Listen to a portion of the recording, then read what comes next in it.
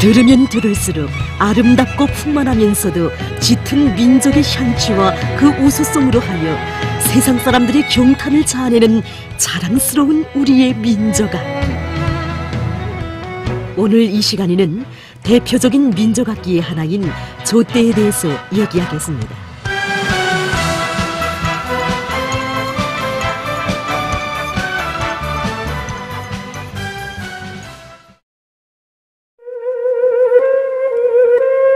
조대는 전통적인 우리나라 민족 목관악기의 하나로서 무려 천수백여 년의 역사를 가지고 있습니다.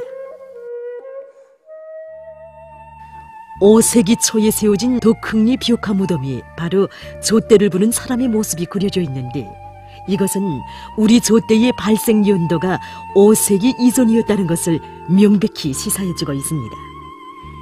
이것이 바로 고구려 시기 우리 선조들이 만들어 이용한 조대인데 참대를 재료로 하고 있습니다.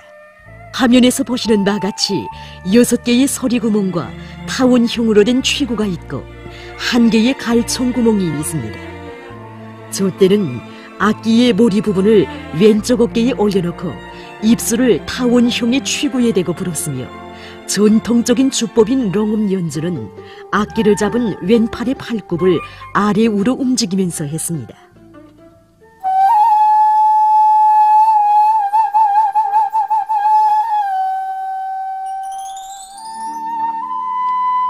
유순하고 부드러우면서도 구성지고 우아한 울림을 가진 조대는 그 우수성으로 해서 고구려로부터 교리의 나라들인 백제, 신라, 가야, 지효는 일본에까지 널리 전파됐습니다. 이 과정에 조대는 대함, 중함, 소함의 세 가지 종류의 조대로까지 발전돼서 궁중 음악과 민간 음악에 널리 이용돼 왔으며 세세년년 대를 이어 전해지며 수많은 좆된 영수들과 일화들을 낳았습니다. 당의 현명한 용도 밑에 노동당 시대에 새롭게 태어난 오늘의 좆대입니다. 우리나라에서는 위대한 수령님과 위대한 장군님의 현명한 용도 밑에 1960년대 후반기로부터 1970년대 초에 걸쳐 민족악기들에 대한 개량 사업이 활발히 진행됐으며 저 때도 오늘의 모습으로 새롭게 태어나게 됐습니다. 우선 악기가 매우 문화적이면서도 연주에도 편리하게 제작됐습니다.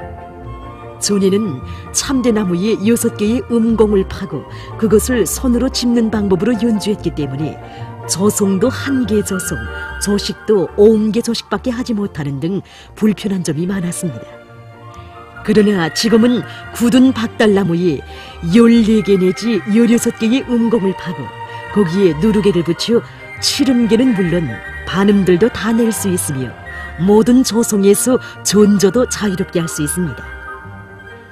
악기가 개량되면서 폭넓은 음력과 다양한 음색에 따르는 조대 서각기 다시 말해서 원래 있던 조대에 고음 조대와 중음 조대가 새로 창작돼서 그 어떤 음악 형상도 자유자재로 할 수 있게 됐습니다.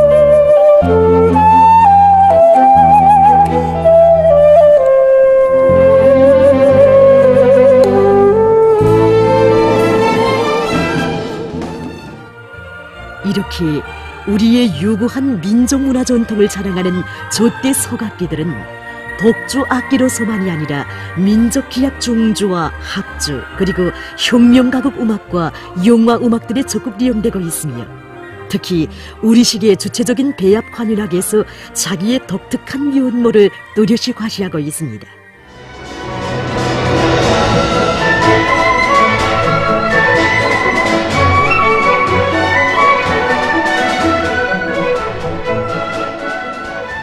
또한 민족 악기들인 가야금, 장구, 오은금과 함께 유치원 어린이들로부터 학생, 전문 예술 분야에 이르기까지 그 활용 범위가 대단히 넓으며 군중 문화 예술에도 적극 도입된 대중화된 악기로서 시대의 벅찬 숨결에 극한 민족적 향취를 더해주고 있습니다.